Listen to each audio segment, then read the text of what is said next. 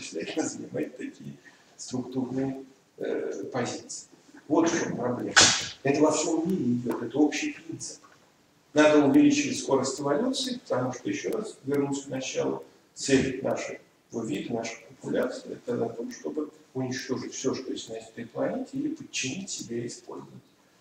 Конфликты между популяциями – это вопрос предварительного собственного В Европе он был один, у нас был другой, мы никогда договориться не сможем.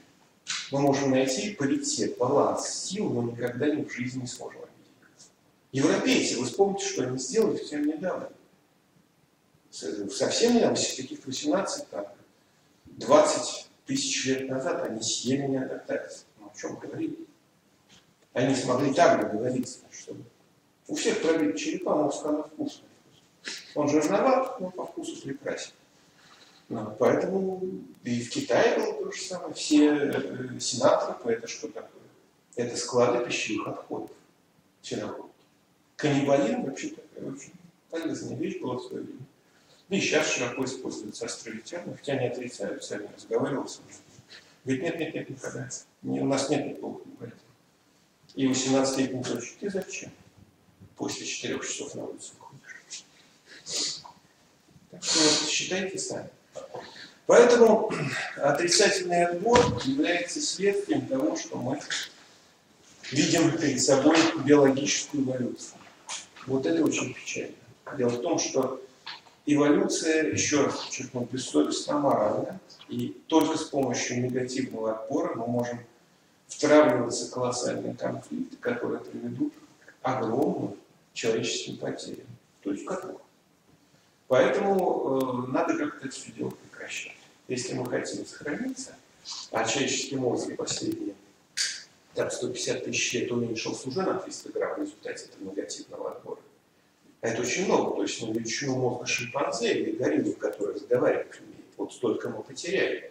И неандертальцев, и э, кроманьонцев, как пастор сапиенсов, то есть и всех тех других – у них мозг-то был в среднем 1600-1650 грамм, а сейчас в среднем в планете 3320. Мы уже 300 грамм потеряли в результате вот этого негативного социального отбора, потому что мы втравливаем, делаем искусственный отбор самих себя, втравливаем войны для того, чтобы ускорить эволюцию, и эволюция не для того, чтобы сделать умных и освоить чужие другие планеты. Ну, упаси Бог. Еще раз говорю, в эволюции действуют биологические законы, которые никакого отношения к гуманизму и посмотрите в критических ситуациях, как себя ведут большие народы, большие политики. Все, по-моему, ясно, как можно видеть.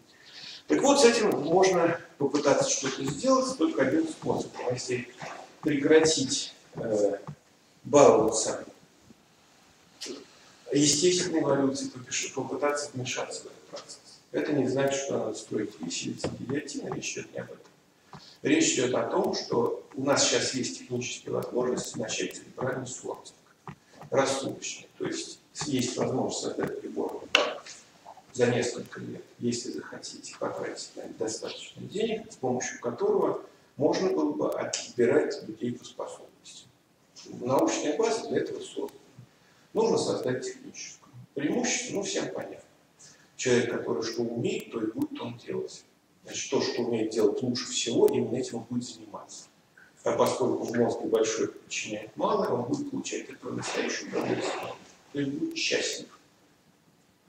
То есть вот это человеческое счастье, когда человек занимается лучше всех тем, что он умеет лучше всего делать, оно составляет суть человеческой натуры, и самое главное, справиться тогда позволит нам с индивидуальной изменчивостью, которая нас разъединяет.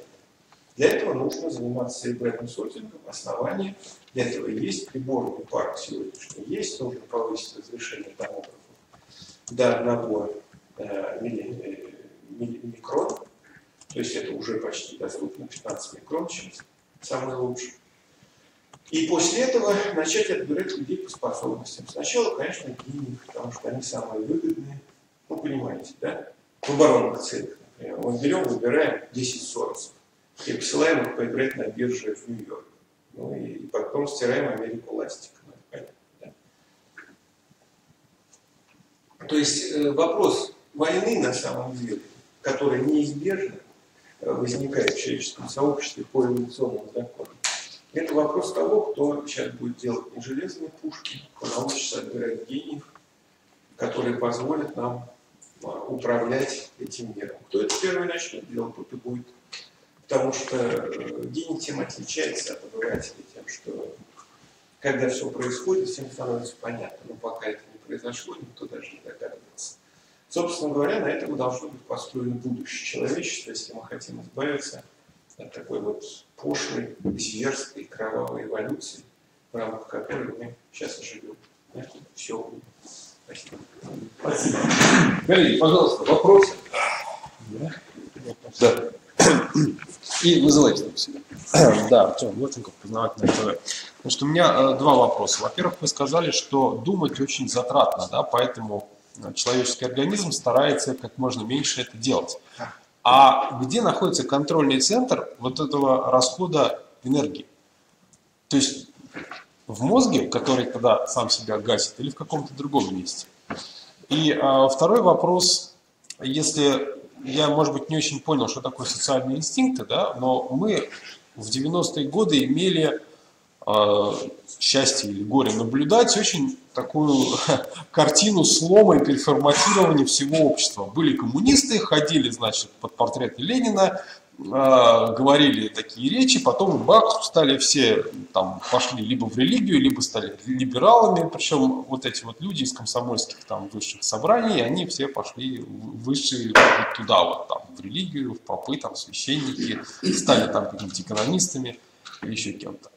А, то есть, получается, ну, переформатированный ну, какой-то... Вопрос. Извините, кто у нас был секретарем комсомольских организаций в 70-е, 80-е годы?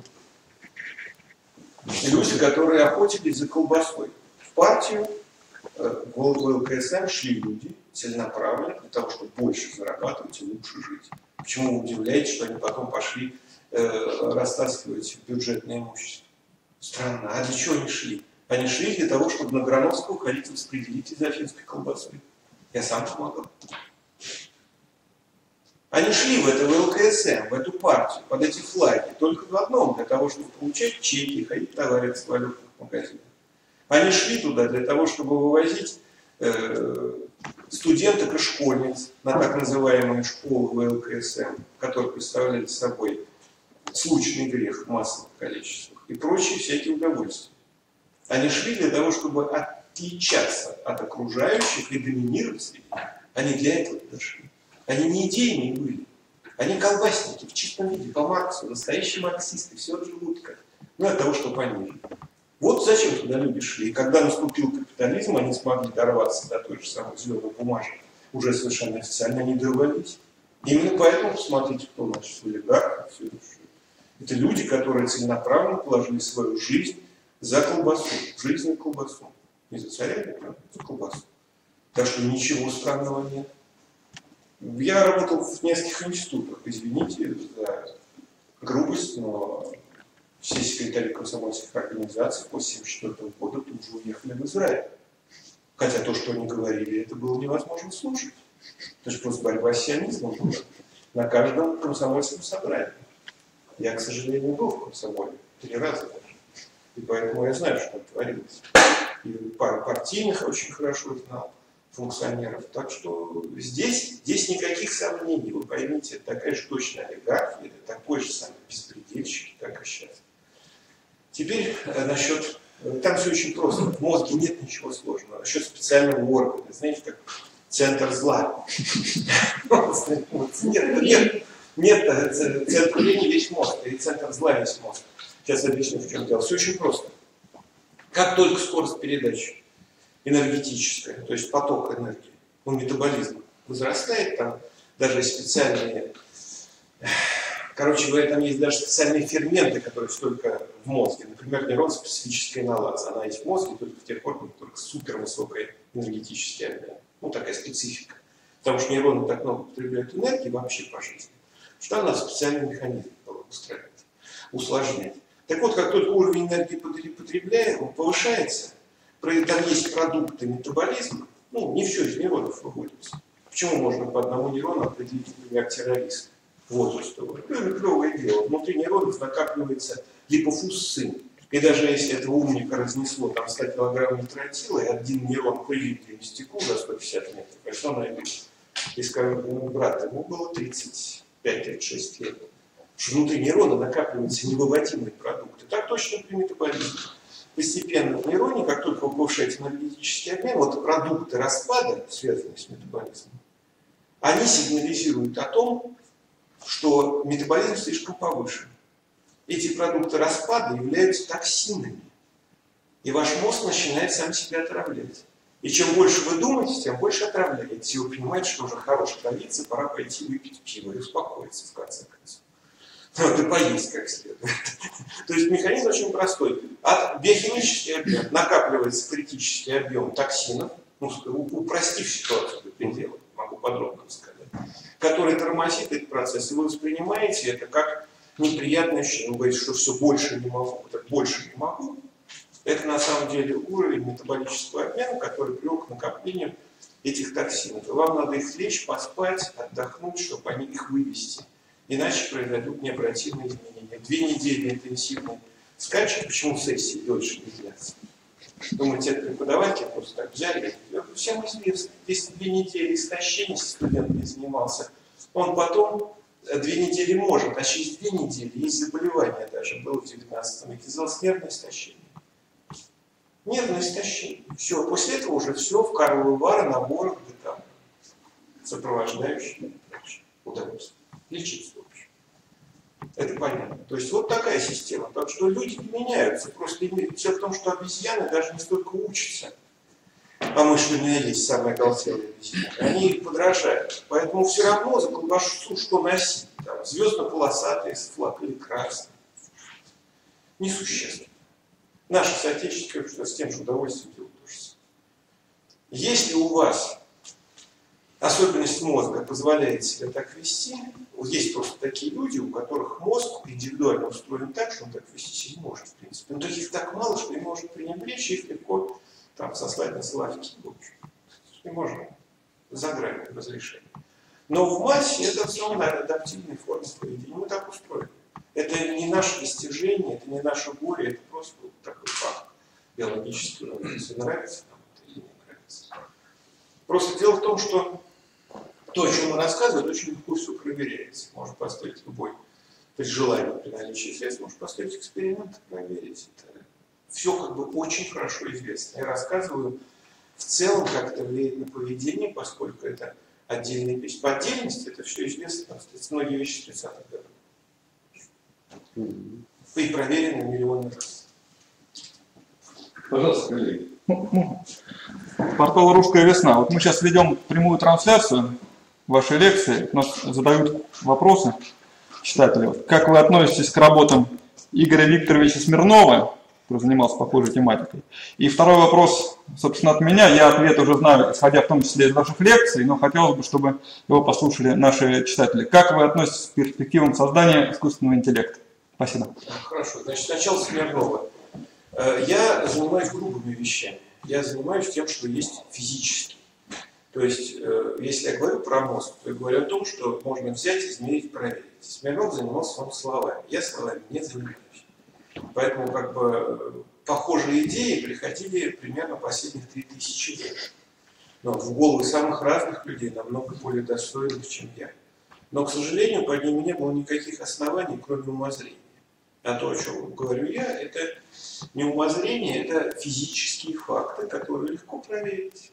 Вот и все. То есть их не надо доказывать словами, они доказываются материальными свидетельствами. Здесь очень важный момент один есть. Так называемая это в человечестве это отдельный разговор тоже, но у человечества есть одна проблема. Дело в том, что так называемый уровень абстракции. То есть вот есть человек, который, например, стоит и колет дрова. Потом есть редактор журнала, который посылает туда корреспондента, увидев, что он как-то особо колет эти дрова каким-то особым топором американским. Значит, что происходит? Фильтрация. Значит, сначала фильтр является редактором. Он дальше корреспондент. Ну, корреспондент, понятно, если ты ничего не умеешь делать, то ты должен быть корреспондентом.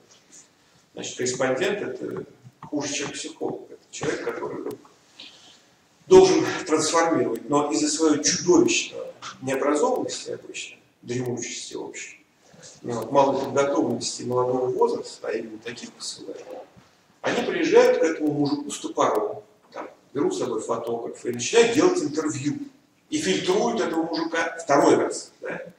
После этого все это притаскивают в редакцию журнала, где все из этого делают статья или интернет-издание, еще что-то. Фильтруют третий раз.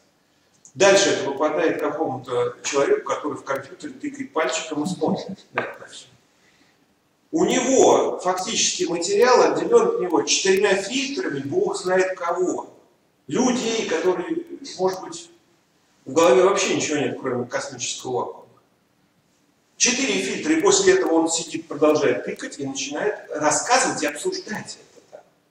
То есть, это что значит? Что от реальной фактологии он ушел, там осталось меньше 10%. То есть для рассуждения ничего нет. Все, это чудесно, это прекрасный способ занять человечество. В этом будет. То есть более бесполезного времяпрепровождения придумать нельзя. Более эффективного демпфера для социального поведения и э, возникновения всяких глупостей в голове нельзя придумать, а глупости нам очень нужны. Потому что контролировать вот такое население, которое от реальности отстоит на 10 шагов, прекрасно, это лучший способ. То есть это такого способа тотальной дебилизации придумать невозможно. А все идут очень хорошо. Почему? Потому что ехать к мужику, который колет дрова и смотреть собственным глазами, сколько энергии. Мозг напрягать. А тут сразу эндорфины из мозга ничего не делал. Те все выложили. И крупным планом видно, как топор вжик, видно, как мужик губу поджал, как под по лбу струится. Красотища, ты уже вроде бы все понимаешь. То, что перед тобой было столько фильтров, это остается за кадром. В результате население, вот которое этим все занимается, оно так оторвано от реальности, что просто, ну, лучше и быть не может. То есть вот это уже себя можно обмануть в чем угодно и убедить в любой глупости. Это прекрасный способ управления. А ну когда все ни с того ни с сего собираются на болотную площадь, они сталкиваются с реальностью, у них открывается третий глаз, опускается чакра, там еще что-то у них выскакивает где-то. И вдруг они видят, что мир-то другой, и они начинают зверить. Вот это выпускать нельзя, конечно. Ну или предложить какой-то другой вариант, о чем надо подумать. Вот примерно так. Про искусственный интеллект. Да, про искусственный интеллект. Искусственный интеллект это прекрасно, это мой любимая тема. Потому что миллиард долларов выделенные Обамой, я говорю, видимо, он просто пришел один раз на работу, посмотрел так вокруг и сказал, ну, надо как-то заняться мозгом. На себя в зеркало, не знаю. И выделил миллиард долларов, ну, которые, как понимаю, уже украли. В Америке просто кража научных денег более совершенствована, чем у нас мы еще тренируемся, а в Америке уже все там хорошо налажено. Поэтому с мозгом все будет в порядке, то есть ничего не узнает, но миллиард будет освоен. Еще намного лучше, чем там. Значит, искусственный интеллект. Когда э, люди, рассуждающие про искусственный интеллект, здесь я недавно слышал, не буду рекламировать эту передачу на радио, но мне показалось, что вот как раз ведущего его гостя э, как раз э, протезировать можно. Это точно. То есть, поскольку там идут рассуждения про шахматы, вот шахматы, вот уже все, компьютер выигрывает. Ну, конечно, выигрывает. Что шахматы это интеллект? Это что такое? Это комбинаторика. Это когда э, известный набор комбинаций, вы ищете решение. Вы выучиваете 2000 начал, становитесь мастером спорта международного класса. Ничего. Какой-то интеллект. Шахматы это не, не интеллектуальная игра. Посмотрите на Каспарова. Ну как-то можно вести себя по мне кажется. Я ничего, не претензий никаких к нему нет, но мне кажется, как он ведет себя, это не самый лучший способ зарабатывать. Можно как-то поумнее говорить. Вот. То есть, э, вот в этом плане, если сравнивать человека с компьютером, это глупость. Почему? Потому что компьютер, ни один компьютер в мире не обладает одной способностью. Мозг думает не из-за того, что он перебирает какие-то комбинации, о которых так любят поговорить всякие комментаторы и прочее. Это они выбирают комбинации, поэтому они так и думают, что так работает человеческий мозг. В силу своей примитивности они считают, что комбинаторика это и есть творчество. Из трех бумажек сделать четвертое, это называется. Нет, не в этом состоит дело. Человеческий мозг обладает творчеством по одной простой причине. Я сейчас объясню, почему. У нас между вот этими 11 миллиардами сейчас нейронов, вот этими, которые здесь, каждый день образуются две связи. И две связи рвутся. И так всю жизнь. Мозг думает не потому, что там сигналы бегают, как в больном воображении инженера недоученного. Не поэтому. Это у инженера в голове нейронный мозг работает как электрический проводник. Там, простите меня, приходит один синапс, один единственный контакт между нейронами, которых от 100 тысяч до миллиона, у каждой нервной клетки 11 миллиардов. Ну-ка, Айзен пока посчитайте, вот один такой синапс, у него приходит медиаторов 25 штук в разных комбинациях, которые кодируют сигналы. И сигнал идет электрохимический, а не чистая проводимость. Это по проводам электричество бегает, а здесь информационные сигналы все электрохимические. Близко нет. И самое главное, что эти контакты образуются разрушаются всю жизнь. То есть это что значит? Я привожу сегодня пример. У нас 150 там, миллиардов вообще целиком во всей нервной системе нейронов. В Корее 11 миллиардов. То есть это что означает? Что нам надо подождать еще 200 лет, и тогда мы сможем создать суперкомпьютер, посадив ну, вместо э, вовнутрь каждого нейрона по китайцу паяльника, который будет каждые два дня контакт. Они не программируются. Вот в чем фокус. А именно в них творчество. То есть не комбинаторика. Как э, поменять доллары на евро и обратно. Не как в шахматы выиграть. Нет, вся глупость, которая имитирует все научную деятельность. А совсем другое. Морфогенез. У нас мозг думает, принимает решения, выбирает за счет морфогенеза. Почему человек говорит, меня озарило? Это человек, откуда его там озарило? С какого места? Озарило очень просто. Между нейронами возникли эти связи и объединили совершенно разные проблемы, которые он обдумывал в течение жизни. Возник физический, еще раз подчеркиваю, не виртуальный, не математический, физический контакт. Каждый физический контакт не могут промоделировать до сих пор математически. Один из 100 тысяч на каждую клетку. О чем разговор? И вот сымитировать это, самообучающаяся машина, то, чтобы она там дорогу, туалет нашла, там бумажку принесла, это, конечно, вопрос. Самонаводящиеся ракеты, надо распознавать там объекты, чтобы она их все. Да, конечно. Человеку, который не обладает творческим мышлением, нельзя себе представить, чем отличается мозг человека от машины. Поэтому такая уверенность, что можно это создать. Творчество мозга – это не процесс биохимического обмена данных, или даже электрохимического, а это морфогенетическое событие. Именно поэтому гений долго думает. Медленно эти самые синапсы образуются. Им долго надо пыхтеть. Долго надо об одном и том же думать, чтобы возникла система связи, которой еще не было в природе никогда. Вот это сделать пока нельзя. Поэтому я думаю, что все эти рассуждения, я пережил уже три больших цикла, когда удалось расхитить колоссальные средства из бюджета на создание искусственного интеллекта. Ну вот, я думаю, что еще будет не один цикл. Я просто завидую ребятам, которые умудряются в третий раз обманывать население этой планеты на одну и же. Здорово то, что хотел. Пожалуйста. Сергей Правосудов. Я, если можно, два вопроса, но так, по отдельности. Первый вопрос. Вы говорите, что нужно аппаратами отбирать людей, на что они способны, и они будут этим заниматься хорошо и прекрасно, все будут довольны. Вопрос, кому это выгодно? Ну, вот элита, да, она есть. Ей уже задача, как вы сами говорите, что продлить себя. То есть своим детям передать имущество, чтобы дети плодились, и все было хорошо. Зачем отбирать конкурентов, которые сожрут их детей, не дадут плодиться и ну вы что? Ну, конечно, и только на элиту приходится рассчитывать. Некоторые группы такие жадные, что даже то, что я говорю, что в интернете это не помогает абсолютно. Я уже проверял. Ну, вот, э, что они обязательно, кто-то среди них найдется, кто захочет заработать еще больше. Все же хотят стать главными буйными, апеллируют к инстинкту. Же как всякий нормальный человек пытаюсь паразитировать на обезьянных инстинктах. И подвигаю олигархов, людей богатых, корыстных, это чтобы они отобрали, начали строить эти машины, отбирать деньги, для того, чтобы набрать еще больше денег. И станешь совсем главнейшими на свете в окрестности. Ну, Смотрите, ну даже школа, в принципе, институты уже вам дадут много информации, кого можно добрать. Ну, ведь не так, что прям... Не дадут, вы знаете что, не дадут.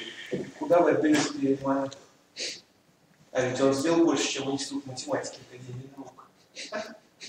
Как его отобрать? Когда э, простая задача, ладно, там с Перельманом, он действительно там, гений в области логической математики, может только снять шляпу. Вот посмотрите, вот пловцы, которые уж физически чего тут. Мы даже спортсменов набрать не можем, отбираем не потому, мы меряем не тому лишь сократимость экстремный процесс. Ребят, надо отбирать по другому принципу. Просто моторные области в человеческом мозге, они такие же. Также различаются у человека одаренного в спортивном смысле, как и неодаренного. Как и области интеллектуальные. Давайте, давайте хоть спортсменов отберем, чтобы они не засыпали на футбольном поле на полпути задрав ногу. Хотя бы это сделали. И вот спорт- спортсмены, пример.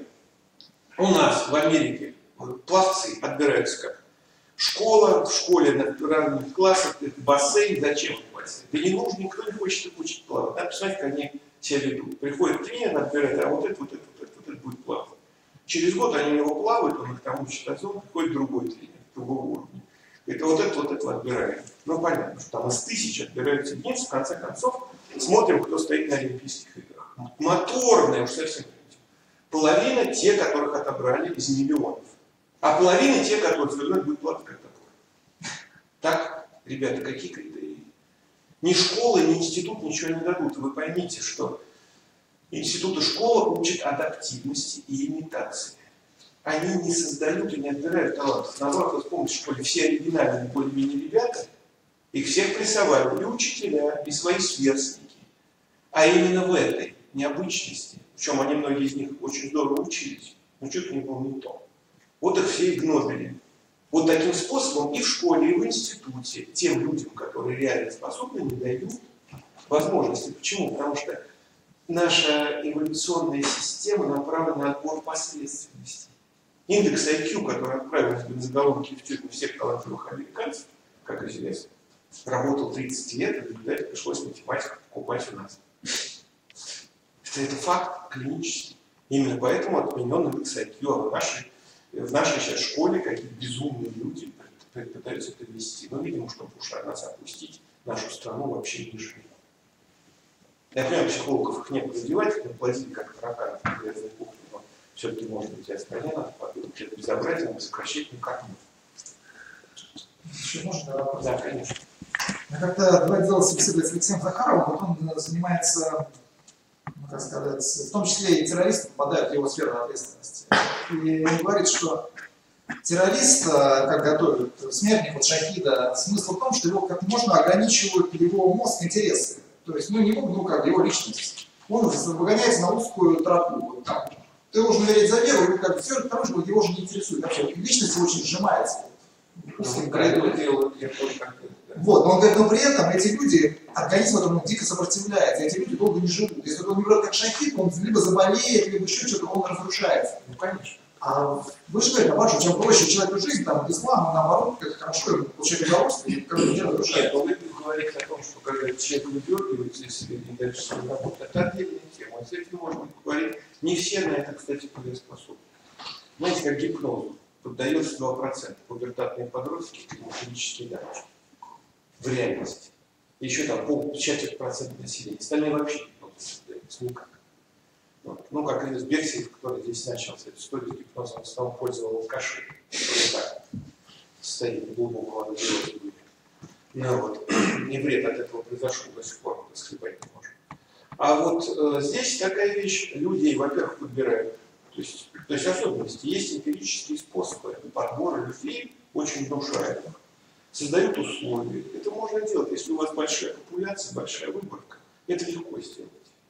То есть всегда можно человека даже с такими особенностями мозга и направить его на что угодно. Те же самые шахиды в Германии. Германия Второй мировой войны. Там такие же точно смертники, японцы, которые в этих торпедах управляемых. Те же самые летчики японские на Зеро, камикадзе, который взлетал, у него, чтобы не было меньше веса, отстреливались колеса, потому что он садиться не собирался никуда. собирался умереть из Японии. Это, это было не обязательно шахиды, японцы, пожалуйста, немцы, цивилизованная страна. Они же вели себя в Первой так же, как шахиды. Вопрос обработки. Только на немцев удалось там, обработать всю нацию полтора десятка лет так, что них там рожки остались. Ну, А Обработка в любом возрасте или какой-то только... чем раньше начинается, тем лучше. То есть, если вам нужна массовая база таких смертников, надо в раннем возрасте. Вот плохо то, что большие территории подчинены людям с такими интересами, и это приведет в конце концов к тому, что они полезут оттуда просто в огромных количествах. Нужно 5-7 лет, чтобы заложить эти социальные инстинкты, и когда это станет массовым, это будет страшно. Вот это страшно. Страшно, когда они индивидуально поймали подходящего, значит, обработали, послали динамитом. Это одна ситуация. А Когда это будет просто системой, вот тут будет плохо. Значит, вы Украину имеете в виду? Не обязательно Украина, там и будет то же самое. Там же дети растут. И как раз закладывают вот эти замечательные инстинкты, типа отрезания голов. Полезные всякие науки. Вы представляете, что они будут? И последствия этих социальных инстинктов, которые к ним сейчас закладывают, они просто ужасающие. Просто ужасающие. То есть все будет так же, как мы, будет давать плодовитое потомство, но при этом